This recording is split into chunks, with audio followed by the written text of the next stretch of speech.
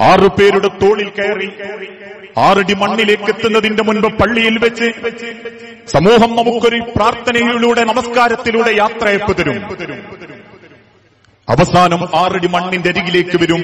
ആറടി മണ്ണിലേക്ക് വെക്കും. മൂന്ന് പിടി മണ്ണ് വാരിയിടുമ്പോ കബർ കളച്ചവൻ കബറിലേക്ക് മണ്ണ് നീക്കി വെക്കുമ്പോ നാട്ടുകാര് നമുക്ക് അവസാനത്തെ യാത്രയപ്പം തരും. ആ യാത്രയപ്പ മനുഷ്യരെ തസ്ബീത്ത്. ആരടി മണ്ണിലേക്ക് മണ്ണ് കിളച്ചവൻ മണ്ണ് നീക്കി വെക്കുമ്പോ ഓരോരുത്തരും സാധ്യമാകുന്ന പിടി മണ്ണ് വാരിയിടുമ്പോ ആ കബറും പുറത്ത് നിൽക്കുന്ന ആളുകൾ ഒരേ ശബ്ദത്തിൽ പറയും അള്ളാഹുമ്മ ഇന്ന അൽഹിംഹുൽ ജവാബ്. ജാഫിൽ വർഹംഹു. അള്ളാഹുമ്മ ആമിൻ കുല്ലിൽ ഫസ്. അള്ളാഹുമ്മ അള്ളാഹുബേ സബിത്തു ഇൻ ദ സുആൽ. ഈ കവർ കിടക്കുന്നതിന്റെ വാപ്പയാറപ്പേ എന്റെ ഉമ്മയാറപ്പേ ഇന്നലെ വരെ പുത്തൂർ പള്ളിക്കലിടെ പള്ളിയിൽ നമസ്കരിക്കാൻ വന്ന എന്റെ നാട്ടുകാരനാറപ്പേ അതുകൊണ്ട് നാദാ സബിത്തു ഇൻ ദ സുആൽ. നിന്റെ ചോദ്യത്തിന്റെ മുൻപിൽ ധൈര്യത്തോടെ നിൽക്കാനുള്ള ഒരു കഴിവ് നീ കൊടുക്കണേ നാദാ. നിന്റെ ചോദ്യത്തിന്റെ മുൻപിൽ ധൈര്യപ്പെട്ട് നിൽക്കാനുള്ള ഒരു കഴിവ് ഈ കബർ കിടക്കുന്ന എന്റെ വാപ്പാക്കിന്റെ ഉമ്മാക്കിന്റെ കൂട്ടുകാരൻ എന്റെ നാട്ടുകാരൻ എന്റെ ഭാര്യാപിതാവിന് ഭർത്താവിന്റെ വാപ്പാക്ക് നീ കഴിവ് കൊടുക്കണേ നാഥ. ഈ ലോകത്ത് ഒരാളെയും നമ്മൾ പേടിക്കണ്ട. ഈ കൂട്ടത്തിൽ ആരെങ്കിലും എഴുന്നേറ്റ് പോകുമ്പോ ഇരിക്കടോ എന്ന് ഞാൻ പറഞ്ഞ തിരിച്ചു നിങ്ങൾക്ക് എന്നോട് ദേഷ്യപ്പെടാം. എനിക്ക് സൗകര്യം ഉണ്ടെങ്കിൽ ഞാൻ പോവും. ഓനെ തടയാൻ മാത്രം കെൽപ്പിനിക്കില്ല. സാമ്പത്തികം എനിക്കില്ല. അധികാരം എനിക്കില്ല പക്ഷേ ആറടി മണ്ണിൽ മനുഷ്യരെ അള്ളാന്റെ മുൻപിൽ അള്ളാന്റെ ചോദ്യം ഒന്ന് കേൾക്കാൻ നിങ്ങൾക്ക് കഴിവ് കിട്ടണമെങ്കിൽ അത് അള്ളാഹുവിന്റെ കാരുണ്യം വേണം അതിനാ കബറും പുറത്തുനിന്ന് ചോദിക്കുന്നത് ഈ കബറാളിക്ക് ധൈര്യത്തോടെ നിന്റെ ചോദ്യം കേൾക്കാനുള്ള ഒരു കഴിവ് കൊടുക്കണേ നാദ. അള്ളാഹുമ്മ അൽഹിംഹുൽ ജവാബ്. നാദാ നീ ചോദിക്കുന്ന ചോദ്യത്തിന് നിനക്ക് തൃപ്തിയായ ഒരു മറുപടി പറയാൻ ഈ കബറാളിക്ക് നീ കഴിവ് കൊടുക്കണേ നാദ. എന്തെങ്കിലും മറുപടി പറയാനല്ല. എന്താടോ എന്ന് ചോദിച്ചാ എന്താക്കണടോ എന്ന് ചോദിക്കാൻ നമ്മളുണ്ട്. എന്നാൽ അള്ളാഹുവിന്റെ കബറിൽ അള്ള ചോദിക്കുന്ന ഒരു ചോദ്യത്തിന്റെ മുൻപിൽ അള്ളാഹ്ക്ക് ഇഷ്ടപ്പെട്ട മറുപടി പറയാൻ നമുക്ക് കഴിവ് കിട്ടണം. അതിന് അള്ളാഹു നമുക്ക് കഴിവ് തരണം. അള്ളാഹു അൽഹിംഹുൽ അതുകൊണ്ട് നാഥ ഈ കബർ കിടക്കുന്ന ആൾക്ക് നീ ആ ഒരു കഴിവ് കൊടുക്കണം റബ്ബേ.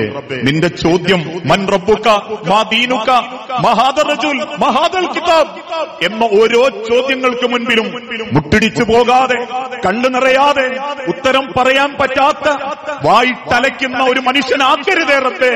സബ്ബിത്തുഹു ഇൻ ദ സുആൽ അൽഹിംഹുൽ ജവാബ്. നിന്റെ ചോദ്യത്തിന് മറുപടി പറയാനുള്ള ഒരു കഴിവ് ഈ കബറാളിക്ക് നീ കൊടുക്കണം. അള്ളാഹുമ്മ ജാഫിൽ കബ്ര അൻജംബേ ഏതൊരു മയ്യത്തിനെ കബറിലേക്ക് വെക്കുന്ന സമയത്തും ആ കബറാളിയെ ഒന്ന് ഭയപ്പെടുത്താൻ വേണ്ടി അള്ളാഹുത്താല കബറ് രണ്ട് ഭാഗവും അങ്ങ് ഇടുക്കിക്കളയുന്ന ആ ഇടുങ്ങലിൽ കബറിൽ കടക്കുന്ന കബറാളിയുടെ രണ്ട് വാരിയലുകൾ കോർത്തു പോകുമാറ് കബറിടുങ്ങുമ്പോ അവൻ കരയും. ആർ തട്ടഹസിച്ചിട്ട് അവൻ കരയും. ലോകത്തിന്റെ പ്രവാചകൻ സഹാബത്തിനെ പഠിപ്പിച്ചു സഹാബത്തെ. ആ കബർ കടക്കുന്നവന്റെ കരച്ചിലെങ്ങാനും കബറിന്റെ മുകളിൽ നിന്നുള്ള ആ കബറിന് വേണ്ടി തസ്ബീത്ത് ചൊല്ലുന്ന നിങ്ങളെങ്ങാനും ആ കരച്ചിൽ കെട്ടിരുന്നെങ്കിൽ ആയുസിൽ ഒരിക്കൽ പോലും ഒരു മയ്യത്തുമായിട്ടും നിങ്ങൾ കബറെന്ന പറമ്പിലേക്ക് ചെല്ലില്ലായിരുന്നു. ആ കരച്ചിലെങ്ങാനും നിങ്ങൾ കേട്ടാൽ ഹൃദയം പൊട്ടി നിങ്ങൾ ആ കബർ പറമ്പിൽ വീഴും. അതുകൊണ്ട് നാദാ അൽഹിമുൽ ജവാബ്. ജാഫിൽ ആ ഭയാനകതയിൽ നിന്ന് ഈ കബറാളിയെ നീ കാത്തോളനെ റബ്ബേ. ആമിൻഹു മിൻ കുല്ലിൽ ഫസ് അല്ലാഹുവേ സകല പാപങ്ങളും പൊറുത്ത് നിർഭയത്വത്തിന്റെ സന്തോഷത്തിന്റെ ഒരു സ്വർഗ കവാടം നീ അവന് തുറന്നു കൊടുക്കണേ റബ്ബേ. എന്ന് പത്തോ പതിനഞ്ചോ മിനിറ്റ് നേരം എല്ലാവരും പിരിഞ്ഞു പിന്നെ ആരാ മനുഷ്യരെ നമ്മളെ കബറിന്റെ അടുത്ത് വരാറുള്ളത്? പിന്നെ ആരാ നമ്മളെ പറ്റി ഓർക്കാറുള്ളത്? ഈ കൂട്ടത്തിലെ നിങ്ങളിൽ പലരും ഒരായിരം മയ്യത്തുകൾ കണ്ടവരാ. ഈ പുത്തൂർ പള്ളിക്കലിലുള്ള കൈബറിന്റെ സ്ഥാനത്തേക്ക് കൊണ്ടുവച്ച് അടക്കിപ്പോന്നവരാ. പലരുടെയും മരണം പ്രതീക്ഷിക്കാത്ത മരണത്തിന്റെ മുൻപിൽ അമ്പരന്ന് നിന്നവരാ.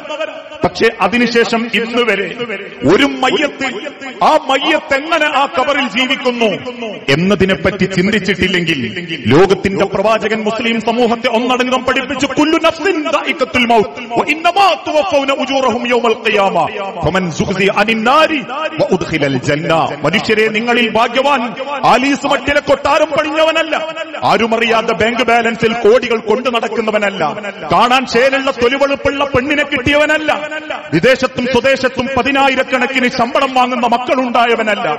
മറിച്ച് ആരാ ഭാഗ്യവാൻ? ഫമൻ സുഖ്സി അനിൻ നാരി. ജന്ന. ഇടം ഭാഗത്ത് നിൽക്കുന്ന നരകത്തിന്റെ തീക്കുണ്ടാരത്തിൽ നിന്നും തിരുത്തലായി. സ്വർഗമെന്ന ആ പറുദുസയിലേക്ക് ആര് നിങ്ങളിൽ കൂട്ടത്തിൽ അള്ളാഹുവിന്റെ കാരുണ്യത്തിന് വിധേയരാകുന്നോ? ഫാസ. അവനാണ് വിജയി. അവനാണ് അള്ളാന്റെ കണ്ണിൽ വിജയി. ആ വിജയത്തിലേക്കുള്ള മുന്നേറ്റമാണ് മനുഷ്യന്റെ ജീവിതം കൊണ്ട് കാണിക്കേണ്ടത്.